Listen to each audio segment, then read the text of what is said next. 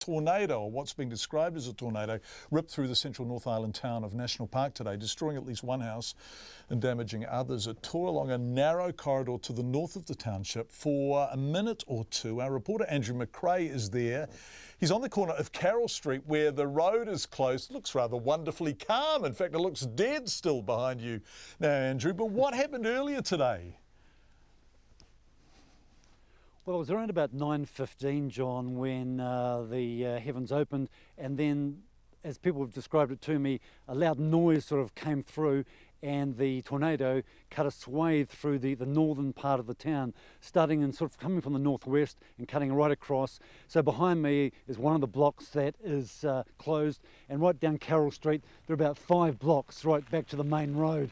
And uh, as you can people in watching this can see the, the house behind me is uh, one of the ones that is uh, fairly badly damaged and uh, it's not looking promising for the owners of that particular property. No, it's not at all. We can see the roof is off and in fact uh, it's badly exposed to the elements now and people can either hear or see that it is starting to rain. Actually, Andrew, it looks thoroughly unpleasant and we're it's very grateful for you standing there. Yeah, I can imagine.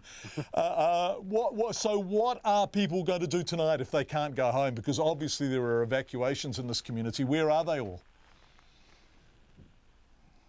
Well, there's around about, in these five blocks, about 40 homes affected, and they range from really badly damaged, uh, one totally destroyed, through to just um, reasonably minor structural damage. But no one's allowed back into their homes tonight.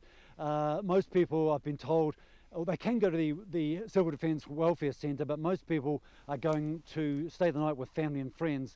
And the council is basically in the next hour or so assessing all the houses just to see whether people can return in the morning. But at this stage, it's going to be dark shortly, so this entire end of town is uh, cordoned off, and there are roadblocks at uh, each each street leading into uh, this Carroll Street. Right, I'm just looking at the pictures we're overlaying as you speak, and there's been a, there's been a lot of damage. There is a sense now that the worst of it is over. I mean, it's unpleasant there now, but the really wild weather has gone, Andrew?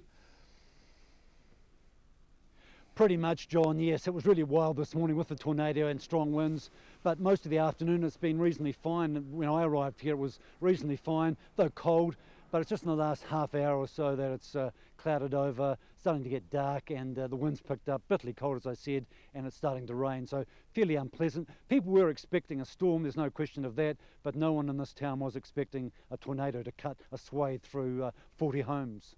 Incredible. Uh, and you can see real damage in the pictures. Andrew McRae joining us in the centre of the North Island.